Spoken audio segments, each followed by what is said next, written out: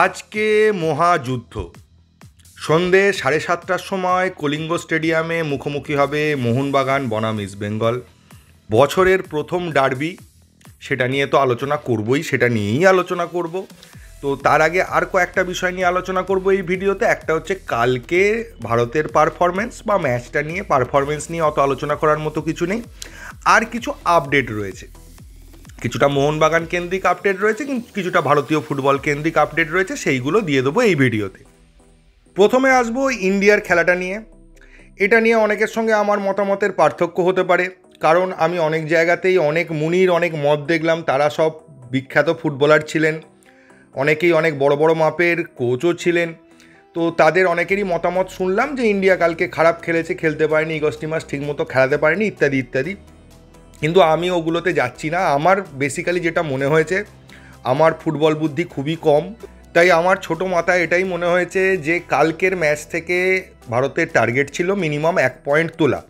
আর minimum এক point তুলতে গেলে আপনি ড্র করব মানসিকতা নিয়ে নব্বই মিনিট ধরে তো ডিফেন্স করে একটা টিমকে আটকাতে পারেন না, যখন উজবেকিস্তানের মতো একটা টিম রয়েছে এবং সেই টিমটা যখন আমাদের থেকে এতটাই পাওয়ারফুল তখন নব্বই মিনিট ডিফেন্স করে তাকে আটকানো যাবে না। তো অতএব গোল করতেই হবে, ওরাও গোল করবে, এটা কোচ জানতেন এবং কোচ একটু অ্যাটাকিং ফরমেশানই নামিয়েছিলেন। এবং অ্যাটাকিং ফরমেশান নামালে গোল খেতেই হবে, এটা স্বাভাবিক ব্যাপার, এটা অস্বাভাবিক কিছু না, তার মধ্যে যদি অপোনেন্ট টিম এতটা স্ট্রং হয়, সে গোল দেবেই, কারণ আমাকে কোনো টিম যদি অ্যাটাকিং বানাতে হয়, তাহলে ডিফেন্সটাকে কম্প্রোমাইজ করতে হয়। আর আমরা যদি ডিফেন্সটাকে স্ট্রং করে আগের ম্যাচের মতো খেলতাম, তাহলে রেজাল্ট হয়তো এক শূন্য বা দুই শূন্য হতো, আমরা এক গোলে বা দু গোলে হারতাম, তিন গোল হয়তো খেতাম না। সেটা হতেই পারতো। কিন্তু তাতে আলটিমেটলি ভারতের কিছু লাভ হতো না পরের রাউন্ডে যাওয়ার জন্য। শুধু এই ম্যাচটা নিয়ে একটা সাকসেস আসতো যে, না, এই ম্যাচটাও আমরা খুব ভালো ডিফেন্সিভ অর্গানাইজেশন করেছি, আগের ম্যাচটার মতো। এর বাইরে কিছুই পাওয়া যেত না এই ম্যাচটা থেকে। তাই ইগর স্টিমাজ একটু রিস্ক নিয়েই অ্যাটাকিং ফরমেশন নামিয়েছিলেন এবং সেই অ্যাটাকিং ফরমেশন ওদের পেনাল্টি বক্সের মধ্যে অনেকবারই ঢুকে গেছিল। গোল করার সুযোগও তৈরি করেছিল, কিন্তু কনভার্ট করতে পারেনি। কিন্তু অপরদিকে ওরাও আমাদের এখানে ঢুকে গেছে অনেকবার এবং তার থেকে তিনটে গোল এসছে। তো তিনটে গোল হবে এটা আশা হয়তো এগোর স্টিমাচ করেননি। যদি ওটা একটা গোল আমরা খেতাম, তাহলে হয়তো রিটার্ন দেওয়ার একটা জায়গা ছিল, কিন্তু তিন গোল হয়ে যাওয়াতেই ম্যাচটা শেষ হয়ে যায়। এবং একইভাবে আমার ধারণা লাস্ট ম্যাচেও ইন্ডিয়া এরকম অ্যাটাকিং খেলবে, তাতে গোল ইন্ডিয়া খেতেই পারে এবং ইন্ডিয়ার গোল করার সুযোগটাও বেড়ে যাবে। ইন্ডিয়ার গোল করাটা বেশি প্রয়োজন, কারণ স্ট্রং অপোনেন্টের বিরুদ্ধে যখনই খেলবেন, গোল হয়তো হজম করতেই হবে। তো সেই গোল হজম করলে এমনিও হারবে। তো যদি গোল একটা দুটো করতে পারে, তাহলে ম্যাচটাকে একটা ভদ্রস্থ জায়গায় শেষ করার বা একটা দুটো গোল করে শেষ করার একটা চান্স আছে। এই এর বাইরে আমার কিছুই মনে হচ্ছে না। আর ইন্ডিয়া টিমের খেলা দেখে আমার খুব একটা খারাপ লাগেনি। তার কারণ হচ্ছে ওদের প্লেয়াররা সব দিক দিয়ে ভারতীয় প্লেয়ারদের থেকে এগিয়েছিল সে স্কিলের দিক দিয়েই বলুন স্পিডের দিক দিয়েই বলুন, সে বল রিসিভিং হোক বলের পাস দেওয়া হোক, সব কিছুই ওদের অ্যাকিউরেসিটা আমাদের থেকে অনেক বেশি ছিল। তো তারা যোগ্য টিম হিসেবে জিতেছে। এই ম্যাচটা নিয়ে ভারতের কোনো সমালোচনা করার করার কোনো জায়গা আমি খুঁজে পাচ্ছি না। ঠিক আছে, যেরকম খেলেছে, ভারতের যা ক্যাপাসিটি সেই অনুযায়ী খেলেছে। কিছু কিছু মিস্টেক তো ছিল, সেগুলো হবে। ভারতের মতো টিম যখন খেলতে নামবে, তখন এই মিস্টেকগুলো হবে। এখনও ভারত সেই জায়গায় পৌঁছয়নি যে টোটাল মিস্টেক হবে না। আর সেই যদি মিস্টেক হবে না, সেই জায়গায় পৌঁছে যেত, তাহলে ভারতের রেজাল্ট এই ম্যাচটায় কেন? আগে অস্ট্রেলিয়ার ম্যাচেও আর অন্যরকম হতো। আগের ম্যাচগুলো অন্যরকম হতো। কিন্তু আমরা আন্ডার প্রসেস আছি। এখনও পুরোপুরি একটা ভালো শক্তিশালী টিমে আমরা পরিণত হইনি, আমরা হবার চেষ্টা করছি। তো সেই হিসেবে দেখতে গেলে রেজাল্ট খুব খারাপ কিছু হয়নি। তবে নেগেটিভ দিক একটা আমার চোখে পড়েছে ভারতের ম্যাচগুলোর ক্ষেত্রে, সেটা হচ্ছে যে ভারত কিন্তু খেলাটা ধরার জন্য একটু টাইম নিচ্ছে। প্রায় পাঁচ থেকে দশ মিনিট সময় নিয়ে নিচ্ছে ম্যাচে কন্ট্রোলটা নেওয়ার জন্য বা খেলাটা নর্মালভাবে খেলার জন্য। এর আগে একটা ল্যাগিং টাইম থেকে যাচ্ছে। এই ল্যাগিং টাইমটাই ভারতের ক্ষেত্রে কিন্তু প্রবলেম হয়ে যাচ্ছে, যেটা আমরা কিন্তু মোহনবাগানের ক্ষেত্রেও দেখেছি, যেটা ল্যাগ করে। প্রথমে খেলাটা শুরু হওয়ার পর একটু ক্যাজুয়াল মুভমেন্ট করে, আস্তে আস্তে ধরবে। এই আস্তে আস্তে ধরার টাইমটাতেই কিন্তু অপোনেন্ট শেষ করে দিয়ে বেরিয়ে যায়। তো এটা ইন্ডিয়ার টিমের ক্ষেত্রেও হয়েছিল যে প্রথম মিনিট থেকেই একদম রেডি হয়ে আছে। এই ব্যাপারটা কিন্তু হয়নি, আগেও কয়েকটা ম্যাচে দেখেছি, কালকের ম্যাচেও দেখলাম এবং ওই সামান্য একটু ক্যাজুয়ালনেসের জন্যই কিন্তু প্রথম গোলটা খেয়ে যায়। কারণ ওই ধরনের অ্যাটাক পরেও হয়েছিল, যখন টিমটা গুছিয়ে নিয়েছিল নিজেকে, তখন সেই ধরনের অ্যাটাক তারা আটকে দিয়েছে। কিন্তু প্রথম দিকে যখন দুটো গোল হয়, টিমটা কিছু বোঝার আগেই দুটো গোল খেয়ে যায়, বলা চলে। তার কারণটাও আমার মনে হয়েছে এরকম যে অস্ট্রেলিয়া ম্যাচে ইন্ডিয়া জানতো প্রথম থেকে অ্যাটাক করবে, অস্ট্রেলিয়া আমরা রেডি হয়ে থাকব, ওদের বিরুদ্ধে খুব একটা কিছু করতে পারব না, ওদেরকে আটকাতে হবে, সেই জন্য প্রথম মিনিট থেকে ডিফেন্সিভ স্ট্র্যাটেজি নিয়ে রেডি ছিল। কালকের ম্যাচে একটা অ্যাটাকিং খেলার টেন্ডেন্সি নিয়ে নেমেছিল, আমাদেরও অ্যাটাক করতে হবে, আমাদেরও গোল করতে হবে, সেই জন্য প্রথম দিকে অ্যাটাকের দিকে বেশি জোর দিয়েছিল। এখন ব্যাপারটা হচ্ছে ভারতীয় টিম কিন্তু একটা ফার্স্ট ট্রানজিশন লেভেলে আছে এখনও কিন্তু একতরফা ম্যাচ হারছে। এরপরে একটা সিস্টেম আসবে বা একটা সময় আসবে যখন ভারত লড়াই করে ম্যাচ হারবে লাস্ট মিনিট পর্যন্ত লড়াই করে যাবে, এক গোলের ব্যবধানে হারবে, জিততেও পারতো বা জেতা ম্যাচ হারবে এই রকম সিচুয়েশানগুলো পরে আসবে, পরের ট্রানজিশানে এখন সবে একটা ট্রানজিশান কমপ্লিট করেছে ভারত। তো এখনও অনেকটা দূর আছে মানে ইন্ডিয়া টিমের একটা ডমিনেটিং পারফরমেন্স দেখার বা এশিয়ার বড় বড় টিমের বিরুদ্ধে ভারত লড়াই করছে ভালো, দারুণভাবে, সেটা দেখার জন্য এখনও সময় আছে বলে আমার মনে হয়েছে যে এখনও একটু দেরি আছে এখনও সেই পর্যায়ে পৌঁছয়নি। এবার চলে আসি দুটো আপডেটে ইন্ডিয়া ভারতীয় ফুটবল রিলেটেড আপডেট প্রথমটা হচ্ছে যে, আগামী বছরের পুরো শিডিউলটা আইএসএল সুপার কাপ বা ফেড কাপ কবে হবে, কবে শুরু হচ্ছে, কবে শেষ হচ্ছে, এটা দিয়ে দেওয়া হয়ে গেছে। ফেডারেশনের তরফ থেকে অ্যানাউন্স করে দিয়েছে। এটা নিয়ে কথা বলার অনেক সময় আছে, তো পরের ভিডিওগুলোতে এটা নিয়ে আলোচনা করব। আজকে আর ডারবির দিনে ওই ভারত আগামী বছরের শিডিউল নিয়ে আলোচনা করতে চাই না। আরও একটা খবর উঠে এসছে, সেটা অনেক দিন পরের ব্যাপার, সেটা হচ্ছে দু হাজার পঁচিশ সালে মানে এর পরের বছর শেষের দিকে আর্জেন্টিনা বোধহয় ফিফা উইন্ডোতে এখানে একটা ম্যাচ খেলতে আসবে ফ্রেন্ডলি ভারতের সঙ্গে। তো সেটা এখন অনেক দূরের ব্যাপার, সে এখনও আদৌ আসবে কি না মাঝখানে অনেক কিছু ব্যাপার আছে, কোনো কারণে ক্যান্সেল হতে পারে, এই হতে পারে, ওই হতে পারে, অনেক ব্যাপার, এখন থেকে ওটা নিয়ে আলোচনা করে কোনো লাভ নেই। তবে এইটুকু অ্যানাউন্স হয়েছে যে সামনের বছর শেষের দিকে আর্জেন্টিনা এবং ভারতের একটা ফ্রেন্ডলি হবে ব্যাস।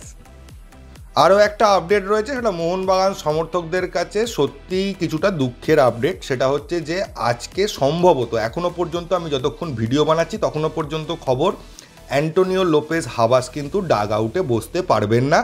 ক্লিফোর্ড মিরিন্ডাই ডাগ আউটে কোচ হিসেবে বসবেন এবং তার আন্ডারেই আজকে মোহনবাগান টিম খেলতে নামবে। এবং এটা অনেকে না মানলেও এটা সত্যি যে খেলা শুরুর আগে কিন্তু এই ডিসিশানটার জন্য কিছুটা হলেও অ্যাডভান্টেজ ইস্টবেঙ্গল পেল। বা ইস্টবেঙ্গল খেলার আগে একটা ছোট্ট পয়েন্টে এগিয়ে গেল আমাদের থেকে, কারণ আমাদের কোচ অ্যান্টোনিও লোপেস হাওয়াস ডাগ আউটে থাকা আর না থাকার মধ্যে কিন্তু সামান্য হলেও একটু পার্থক্য থাকবে আমাদের মনোবলের দিক দিয়ে মানে প্লেয়ারদের তো এই জায়গাটাতে একটু হলেও যে কেউ অস্বীকার করতে পারেন যে, না, এতদিন ছিল না, নতুন কি হবে আর হাবাস থাকলে আর না থাকলে? তাও আমি বলব যে অল্প হলেও একটু তো প্রবলেম রয়েছেই।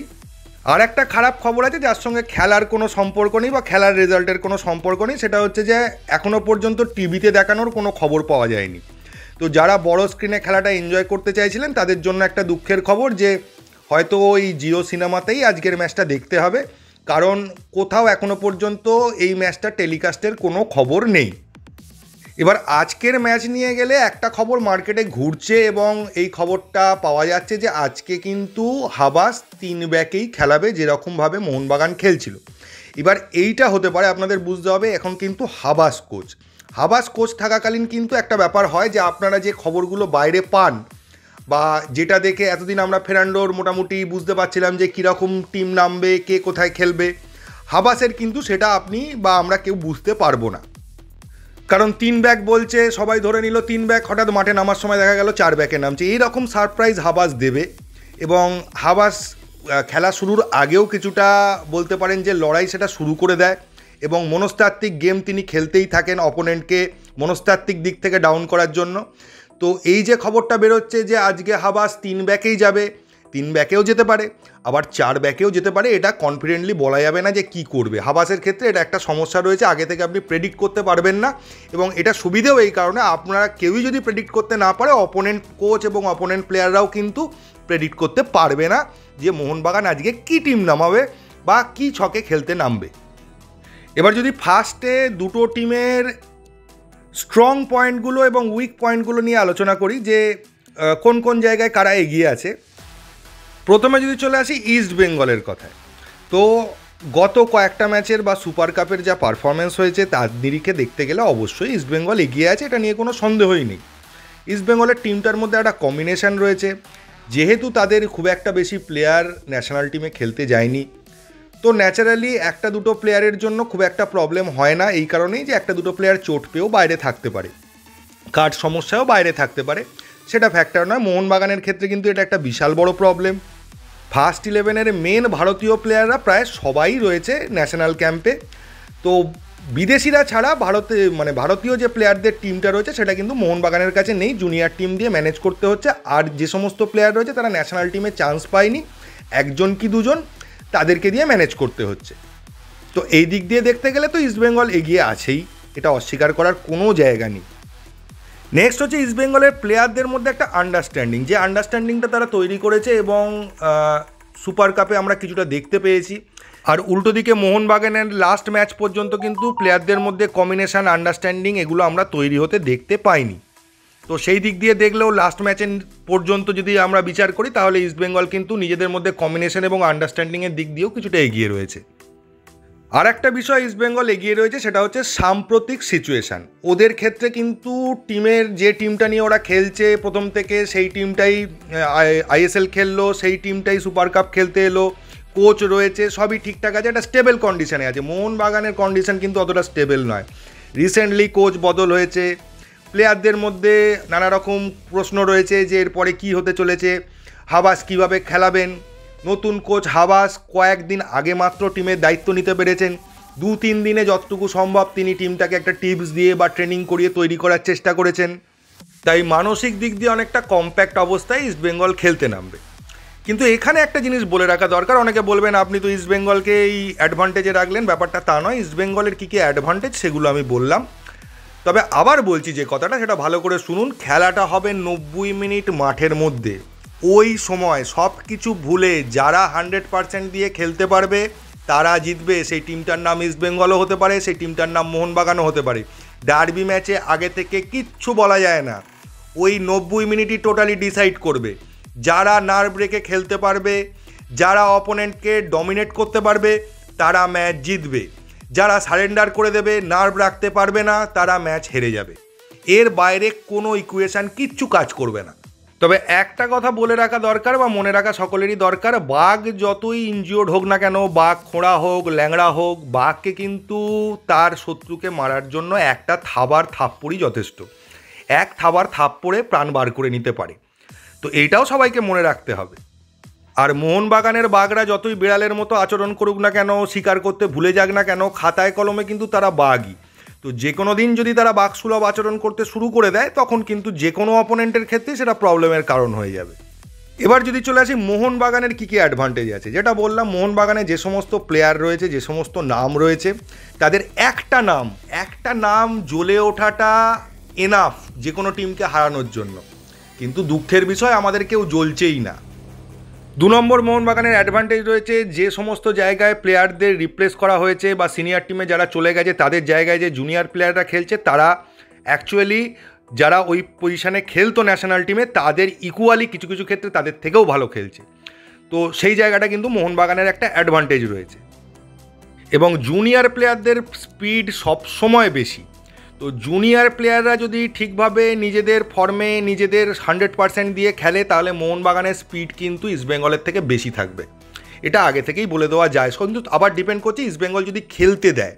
ইস্টবেঙ্গল যদি আমাদের জুনিয়র প্লেয়ারগুলোকে অভিজ্ঞতা দিয়ে খেলতে না দেয়, তাহলে কিন্তু স্পিডটা পাওয়া যাবে না। কিন্তু যদি খেলতে দেয় বা তারা খেলতে পারে, তাহলে কিন্তু স্পিড অনেক বেশি থাকবে মোহনবাগানের। আর একটা পার্থক্য কিন্তু মোহনবাগানের রয়েছে বা মোহনবাগানের একটা অ্যাডভান্টেজ রয়েছে। এতদিন যে ম্যাচগুলো মোহনবাগান খেলছিল, সেই ম্যাচগুলো কিন্তু তারা প্রপার কোচের আন্ডারে খেলছিল না, একটা অন্যরকম সিচুয়েশানের মধ্যে দিয়ে খেলছিল। কিন্তু অ্যান্টোনিও লোপেজ হাবাস চলে আসার ফলে সে দুদিনই আসুক আর তিন দিনই আসুক, একটা আশা, ভরসার জায়গা বা একটা মাথার ওপর হাত বা ছাতা বলতে পারেন, সেটা কিন্তু অ্যান্টোনিও লোপেজ হাবাস এসেছেন। তো কিছুটা হলে পার্থক্য তো হবেই। অ্যান্টোনিও লোপেজ হাবাসের এফেক্ট অল্প হলেও দেখা যাবে, এটাই আশা করা যাচ্ছে। ফলে কোচের স্ট্র্যাটেজির দিক দিয়ে যে এতদিন ইস্টবেঙ্গল এগিয়েছিল, সেই জায়গাটা কিন্তু আজকের ম্যাচে থাকছে না। আমাদের কোচ যতই ডাগ আউটে বসুক বা না বসুক, তিনি কিন্তু এতদিন ধরে যা করার করেছেন এবং আজকেও করবেন। এবং গ্যালারি থেকেও তিনি কিছুটা ম্যাচটা পরিচালনা করবেন। এবং ক্লিফোর্ড মিরেন্ডাকে সব কিছু বলা আছে, কি করতে হবে, না করতে হবে এবং সিচুয়েশান অনুযায়ী তিনি তার ইনপুট দিতে থাকবেন। তো এটা একটা আমাদের জন্য অ্যাডভান্টেজ হতে চলেছে। এবার আজকের ম্যাচ নিয়ে যদি বলতে হয়, তাহলে আজকের ম্যাচে এটাই বলতে হয় যে প্রথম দিকে কিন্তু ইস্টবেঙ্গল নেমেই প্রথম মিনিট থেকে একটা পাগলের মতো অ্যাটাক করবে, যেটা আমি আগে বলেছি, কালকের ভিডিওতে সম্ভবত বলেছিলাম। যে ওরা শুরু থেকেই শেষ করে দেওয়ার একটা চেষ্টা করবে। তো প্রথমে ওদের অ্যাটাকগুলোকে কিন্তু আমাদেরকে রেজিস্ট করতে হবে। ওই সময় আমরা যদি একটু ক্যাজুয়াল ভাব নিই বা অ্যাটাকের দিকে বেশি নজর দিতে যাই, সেক্ষেত্রে কিন্তু আমরা প্রথম দিকে একটা গোল খেয়ে যাওয়ার চান্স থাকছে। তো এই চান্সটাকে প্রথমে হাঁটাতে হবে বা ওদের প্রথম অ্যাটাকটাকে আমাদেরকে রেজিস্ট করতে হবে বা ডিফেন্স করতে হবে। নেক্সট ব্যাপার হলো পুরো ডিফেন্সিভ আমরা খেলতে পারব না, কারণ আমাদেরকে ম্যাচটা জিততেই হবে। ইস্ট বেঙ্গলের ম্যাচটা ড্র করলেও চলবে। তো ইস্ট বেঙ্গল একটা গোল যদি করে দিতে পারে আমাদের বিরুদ্ধে, তাহলে ওরা সেফ জায়গায় পৌঁছে যাবে। কারণ ওরা জানবে যে ওদেরকে, আমাদেরকে যদি হারাতে হয়, তাহলে অন্তত দুটো গোল করতেই হবে। তো সেই জায়গা থেকে ওরা কিছুটা ডিফেন্সে চলে যাবে। উল্টো দিকে মোহনবাগানের ক্ষেত্রে সমস্যা হচ্ছে, মোহনবাগান কিন্তু তখনই ডিফেন্সিভ অর্গানাইজেশনে যেতে পারবে বা একটু সেফ খেলতে পারবে যখন দুটো গোলের অ্যাডভান্টেজ তারা পেয়ে যাবে। এবার দুটো গোলের অ্যাডভান্টেজ পাওয়াটা কিন্তু খুব একটা সহজ বিষয় নয় ডার্বির মতো ম্যাচে এবং আমার ধারণা কার্লোস পুয়াদ্রাদ এটা জানেন যে জিরো জিরো ম্যাচ ড্র করার চেষ্টা তিনি করবেন না। তিনি একটা গোল দিয়ে রাখবেন, যদি মোহনবাগান কোনো রকমে একটা গোল শোধ করে দেয়, তাহলে যেন এক এক ড্র হয়। কারণ পুরোপুরি ডিফেন্সিভ খেলে ম্যাচ জেতা যায় না, সেটা সমস্ত কোচেরাই জানেন। তো দু তরফের থেকেই একটা ভালো অ্যাটাকিং খেলা আমরা দেখতে পেতে পারি, সেটাই মনে হচ্ছে যে দু তরফের থেকেই একটা অ্যাটাকিং খেলা হবে। এবার ইস্ট বেঙ্গল মোহনবাগানের দুজনের যদি ডিফেন্সটা কম্পেয়ার করি, এই মুহূর্তে কিন্তু ইস্ট বেঙ্গলের ডিফেন্স অনেকটাই জমজমাট বা জমাট রয়েছে। মোহনবাগানের ডিফেন্স অল্প হলেও একটু দুর্বল রয়েছে। কিন্তু আবার বলছি, মোহনবাগানের যে অ্যাটাক আছে, সেই অ্যাটাক কিন্তু ইস্টবেঙ্গলের ডিফেন্স ভাঙতে পারে, সেই ক্ষমতা তাদের আছে। তো ইস্টবেঙ্গলের ডিফেন্স ভাঙাটা মোহনবাগানের কাছে কিন্তু একটা চ্যালেঞ্জ হতে চলেছে। ইস্টবেঙ্গলের মাঝ মাঠে কিন্তু একটা গ্যাপ আছে। যে ওদের ডিফেন্সটা অর্গানাইজড ওদের অ্যাটাকটা অর্গানাইজড কিন্তু মাঝ মাঠে কোনো একটা জায়গায় যেন ওদের ফাঁক আছে। তো সেই ফাঁকের জায়গাটাকে মোহনবাগানকে কাজে লাগাতে হবে। এবং মোহনবাগানের উচিত আমার মনে হয় যে একটু মিডফিল্ড হোল্ড করে খেলা এবং মাঝ মাঠের দখলটা নেওয়া। মাঝ মাঠের দখল নিতে পারলেই কিন্তু ম্যাচটা অনেকটাই মোহনবাগানের দিকে ঝুঁকে যাবে। ইস্ট বেঙ্গলের স্ট্র্যাটেজি হবে প্রথমে মোহনবাগানের ডিফেন্স ভাঙার চেষ্টা করবে। মোহনবাগান ডিফেন্স যদি তাদেরকে ভাঙতে না দেয়, তখন তারা কি করবে? পেনাল্টি বক্সের বাইরে থেকে শট নিতে চেষ্টা করবে, যেটা ওরা প্র্যাকটিস করেছে এবং কিছু মুভমেন্ট নেওয়ার চেষ্টা করবে। এইবার সেইটা আটকানোর জন্য যখন মোহনবাগানের ডিফেন্ডাররা কিছুটা ডিফেন্স ছেড়ে বেরিয়ে এসে তাদের আগে থেকে শট নেওয়াটা আটকানোর চেষ্টা করবে, সেই সুযোগে তারা ভেতরে ঢুকে গিয়ে অ্যাটাকটা তৈরি করার চেষ্টা করবে, এই স্ট্র্যাটেজিতেই তারা খেলছে। ক্লিটন সিলভাকে একটু চোখে চোখে রাখতে হবে। ক্লিটন সিলভা কিন্তু ঠিক সময়ে ফাঁকে দাঁড়িয়ে থাকবে একদম প্রপার স্ট্রাইকারের মতো। ডিফেন্ডার যে ওকে কভার করে আছে তাকে কাটিয়ে একটা সুযোগ পেলেই সেখান থেকে জাস্ট বলটা প্লেস করে দেবে। ক্লিটন সিলভার খেলার স্পেশালিটি এইটা। আর একটা হচ্ছে ফ্রিকিক যদি পেনাল্টি বক্সের বাইরে বাজে জায়গায় আমরা ফ্রিকিক কনসিড করি, তাহলে একটা বিপদের সম্ভাবনা কিন্তু ক্লিটন তৈরি করে দেবে। নান্দাকেও একটু চোখে চোখে রাখতে হবে। নান্দার ব্যাপারটা হচ্ছে, নান্দা হয় ফুল স্পিডে ঢুকে গিয়ে মানে সাইড পেনাল্টি বক্সের সাইড থেকে কর্নার ফ্ল্যাগের কাছাকাছি জায়গা থেকে একটা ক্রস তুলে দেবে। অথবা ওখান থেকে একটা স্টপ করে কাটব্যাক করে ভেতরে ঢুকে পেনাল্টি বক্সের সামনের লাইন বরাবর দৌড়তে শুরু করবে এবং ওখান থেকে একটা গোলে শট রাখবে। এই দৌড়টা ওকে করতে দেওয়া যাবে না। সব সময় তো সব কিছু আটকানো মুখে বলে ওরমভাবে সম্ভব নয় যে নন্দাকে আমি কিছুই করতে দেবো না, সেটা তো হয় না। তো নন্দা কিছু করবে। ওকে ক্রস তুলতে দেওয়া গেলেও ওকে কিন্তু ওই পেনাল্টি বক্সের বরাবর আড়াআড়ি রানটা করতে দেওয়া যাবে না। ওখান থেকেও একটা ভালো জায়গা থেকে বল প্রেস করে দিলে গোলকিপারের পক্ষে কিন্তু সেটা চাপ হয়ে যাবে। অন্যদিকে সিভারিওটোরও জানে যে এই ম্যাচগুলোর পর মানে এই সুপার কাপের পর হয়তো তার বিদায় ঘটতে চলেছে ইস্টবেঙ্গল টিম থেকে, এরকম সে জানে। তো সেও যাওয়ার আগে একটা মরণ কামড় দিয়ে দেখিয়ে দিতে চাইবে যে সে কী লেভেলের প্লেয়ার তো সিভেরিও টোটোর দিকেও একটু নজর রাখতে হবে। তবে যাই বলি না কেন, খেলার রেজাল্ট ওই তো বললাম, নব্বই মিনিটের খেলার ওপর ডিপেন্ড করবে। আগে থেকে যাই বলা হোক না কেন, এ ভালো খেলবে, এই খেলতে পারে, ওই খেলতে পারে। ডার্বি ম্যাচে গিয়ে অনেক কিছুই হয় না, আবার এমন প্লেয়ার আছে যারা এতদিন খেলতে পারেনি ওই ম্যাচে গিয়ে নায়ক হয়ে যায়, এরকম অনেক কিছুই হয় ডার্বিতে তো। ডার্বি আগে থেকে খুব একটা প্রেডিক্ট করা যায় না, এবং এটার ক্ষেত্রেও কিছু অন্যথা হবে না। এবার লাস্ট ভিডিওটা অনেক বড় হয়ে গেল। ব্র্যান্ডান হ্যামিলের বিতর্কটা নিয়ে শেষ করছি। ব্র্যান্ডান হ্যামিল যে কথাটা বলেছে, এটিকে এটিকে মোহনবাগান ইত্যাদি, এটার জন্য ব্র্যান্ডান হ্যামিলকে দায়ী করে কোনো লাভ নেই। তার কারণ হচ্ছে, সে কিছুই জানে না আমাদের মোহনবাগান সম্পর্কে। তাকে যা বলা হয়েছে ম্যানেজমেন্ট থেকে সে সেইটুকুই বলেছে। তো এর জন্য যদি কেউ দায়ী থাকে বা কাউকে কিছু বলতে হয়, তাহলে সেটা ম্যানেজমেন্টকে বলতে হয়। কেন তাকে জানানো হয়নি মোহনবাগানের ইতিহাস সম্পর্কে? বা সে যে ক্লাবের ক্যাপ্টেন্সি করছে, তার সম্পর্কে সে কেন কিছু জানে না? এই দোষটা ব্র্যান্ডন হ্যামিলের নয়, এই দোষটা ম্যানেজমেন্টের ম্যানেজমেন্ট তাকে যা বলেছে, সে সেটাই বলেছে, তার কাজ খেলা। এবং মোহনবাগানের প্রেস কনফারেন্সে কি বলতে হবে, না বলতে হবে, সেটা তার বলার কথা নয় বা তার ভাবার কথা নয়, এটা তাকে বলে দেওয়া হয়েছে, সে বলেছে। বা বলতে পারেন তার কাছে যা ইনফরমেশান ছিল সে সেটা বলেছে, তার কাছে ভুল ইনফরমেশান ছিল এবং সেই ভুল ইনফরমেশান ম্যানেজমেন্ট দিয়েছে। এটাতে তাকে দায়ী করাটার আমি কোনো কারণ দেখছি না। তো এই ভিডিওতে এইটুকুই, আবার দেখা হচ্ছে ডার্বির পরে। তো থ্যাংক ইউ ধন্যবাদ এবং জয় মোহনবাগান!